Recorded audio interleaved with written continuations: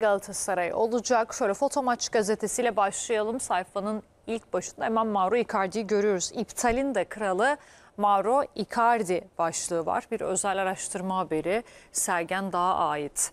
Konya Spor maçında hakemin düdüğüne takılan Mauro Icardi'nin geçen sezon tam 7 golü iptal oldu. Galatasaray 17 iptalle zirveye çıkarken ezeli rakipler Beşiktaş 9 ve Fenerbahçe ise 7 kez santra yapamadı. Böyle bir özel araştırma haberi var. Galatasaray, Göztepe ve Fenerbahçe maçındaki olayla ilgili geçen sezon işaret etti. Stat işletme direktörümüzü öldüresiye darp edenlerin Göztepe maçında olan olayların içinde olması tesadüf değildir e, şeklinde bir yazı paylaşıldı. Ve plan aranıyor. Özellikle savunmada eksikleri bulunan Aslan'da Okan Buruk Young Boys'a karşı sürpriz tercihlere imza atabilir. Geçen sezon Sparta Prag maçında gördüğü kırmızı kart sonrası iki maç ceza alan Okan Buruk Young Boys eşleşmesinde olmayacak. İki maçı da tribünden takip etmek zorunda olan başarılı çalıştırıcı ekibiyle birlikte zorlu bir maça hazırlanıyor. Young Boys hakkında detaylı bilgilere sahip olan Buruk rakibini geçerek Devler Ligi'ne kalmayı da hedefliyor. Fanatiğe dönelim.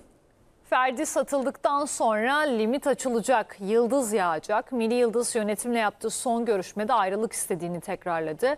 Brighton bu hafta işi bitirelim mesajı yolladı. Ferdi'nin satışı gerçekleşirse limit sorunu aşılacak. Sarı lacivertliler öncelikle orta saha ve sol bek transferini noktalamak istiyor. Goretzka, Amrabat ve Celso için girişimler hızlanacak. Sol bekte Brown için imkanlar zorlanacak. Fenerbahçe'den Göztepe maçındaki olayla ilgili saat 04.19'da açıklama geldi dün. Göztepe akreditasyon kartına sahip bir futbol teröristi tarafından başkanımıza arkadan fiili saldırıda bulunulmuştur. Başkanımız tarafından futbol teröristi bu şahıs başta olmak üzere ihmali olan tüm yetkililer hakkında suç duyurusunda bulunulmuş olup süreç hassasiyetle takip edilecektir açıklaması yapıldı. Sabah gazetesinin 14. sayfasına geliyoruz. Talimatlara aykırı olarak sahaya indi. TFF Fenerbahçe Başkanı Ali Koç'un İzmir'de yaşadığı olay için yazılı bir açıklama yaptı. Talimatlara aykırı şekilde sahaya inip müdahale etmesini doğru bulmuyor ve kabul etmiyoruz ifadesini kullandı.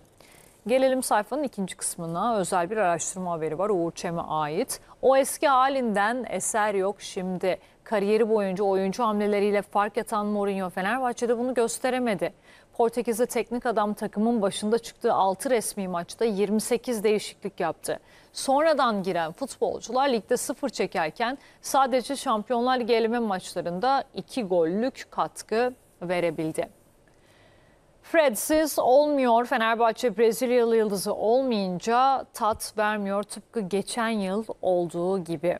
Rakipler kadar akıllı değiliz, sihirbaz değiliz, sadece tecrübeliyim diyen Jose Mourinho, Türk futboluna adapte olması gerektiğinin altını çizip çıkardığı dersleri de sıraladı. Ve Alanya'ya da yakın bir takip var. Mourinho ve sportif direktör Branco dün Başakşehir Alanya maçını tribünden izledi. Portekizli hoca iki hafta sonra ligde karşılaşacakları Alanya Spor'la ilgili notlar aldı. Milliyet gazetesine bakalım. Hemen sayfanın en altına geliyoruz. Nevzat Dindar'ın bir yazısı var burada. Sağa Yelert, sola Dubois. Galatasaray'ın hocası Okan Buruk, Kaan Ayhan'ın cezalı Köln'ün formsuz olması nedeniyle Young Boys deplasmanında sağ bekte Yelert'e, savunmanın solunda ise Leo Duba'ya 11'de forma vermeyi planlıyor. Young Boys maçına çevrildi gözler tabii bir yandan hazırlıklarda devam ediyor. Takım bir günlük izin ardından gerçekleştirdiği antrenmanla çarşamba akşamı deplasmanda oynayacağı karşılaşmanın hazırlıklarına da başladı. İsviçre'ye yarın gidecekler. Takvim gazetesinin 19. sayfasına bakıyoruz. Bu cezaleti nereden alıyorlar? Fenerbahçe suç işlemekten çekinmeyen ve elini kolunu sallayarak staddan ayrılan bu şahsa bu cesareti kimler vermektedir dedi. TFF ise Başkan Ali Koç'un talimatlara aykırı hareket ettiğini vurguluyor. Kırmızı alarm, Fenerbahçe'nin Mourinho yönetiminde çıktığı altı resmi maçtaki istatistikleri endişe yaratıyor.